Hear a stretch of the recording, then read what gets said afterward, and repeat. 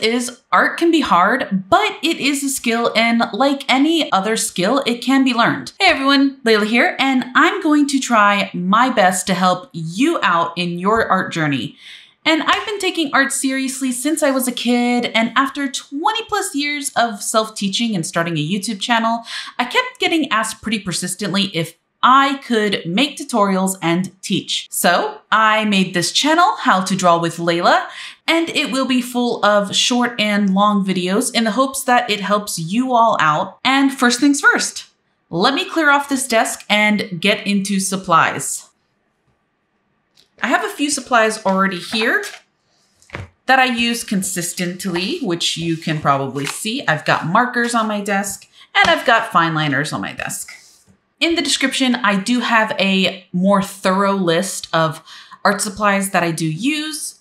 So aside from these Ohuhu markers and these Ohuhu fine liners, I have pretty much a generic mechanical pencil. This specific one is a pretty popular one. I don't know the name right off the top of my head, the brand name. I kind of chipped off the little place where it says like the name. But anyways, any generic pencil works, to be honest. Mechanical pencil, number two pencil, just whatever you got. I also use Posca paint pens. This is the one that I use the most. And if you've seen other videos on my channel, you see that I have used this a lot for my highlights. I do occasionally use Copics, not a whole bunch. They are rather expensive, so I try to keep the ones that I do have for quite a long time by not using them as often. And this is the paper that I use. Let me see if I can scooch it in here.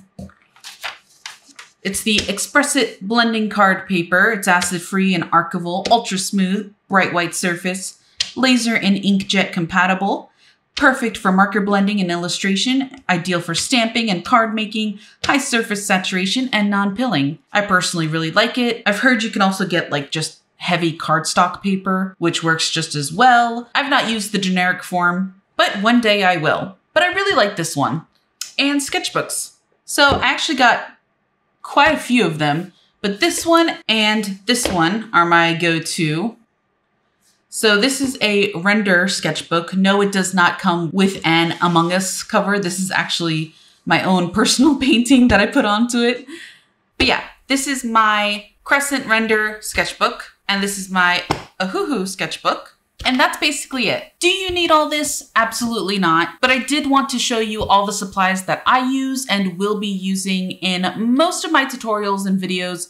I already use pretty much all of these supplies in the short videos that I make of tutorials. So I just wanted to go ahead and just cover my basics with you. And then I just want to share a few pieces with you. Some of these I've done in short form tutorials. Some of these I've done for marker comparisons. Some of these I did for Among Us when I was really into it, and I still am, not gonna lie. and some are pieces I've done for work. Let me make some more space.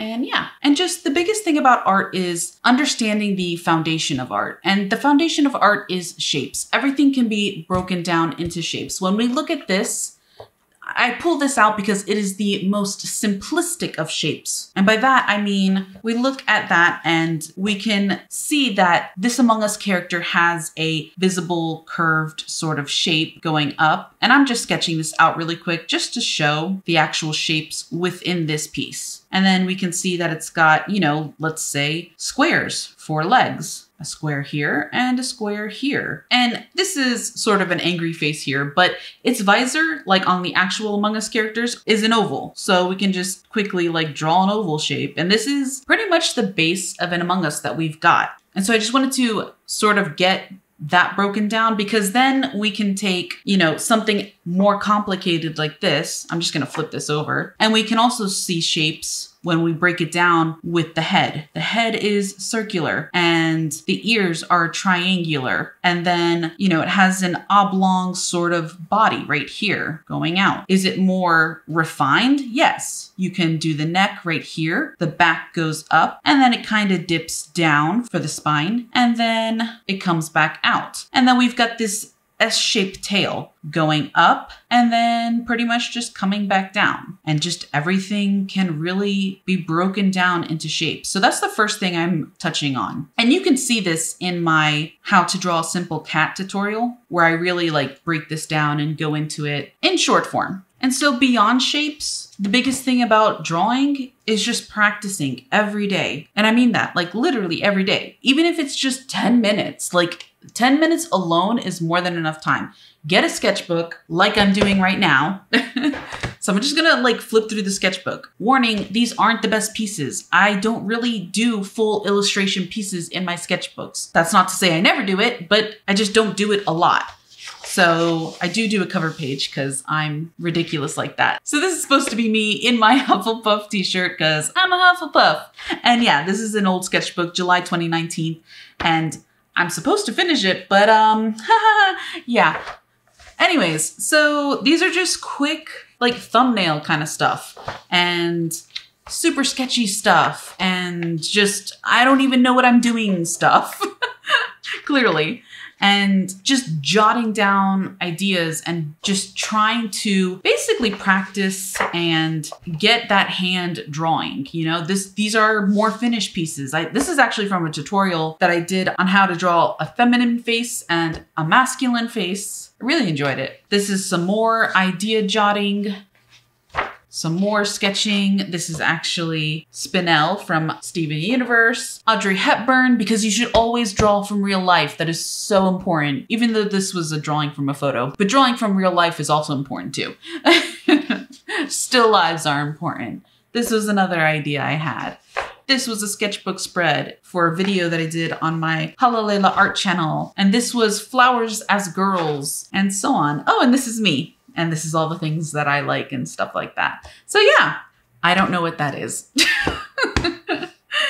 So I'm really excited to get into these tutorials. And I do want to say that during these tutorials, you know, you're going to have to learn to kind expect failure and accept failure. And it's okay because, you know, I feel like people hear that and they're like, oh my gosh, what are you talking about? And it's like, no, like seriously, because we're human, we're to fail, especially when learning something that we've never done before. Like failure is inevitable in some cases. And it's learning to kind of just realize it, accept it, and keep going, keep moving, because eventually you're gonna get it. And that lastly, comparison is such a thief of joy. That's actually a quote by Theodore Roosevelt. And it's just really true. Like, I feel oftentimes when people start a new skill, they look at the artists that inspire them and they're just like, oh, I'll never be as good as them.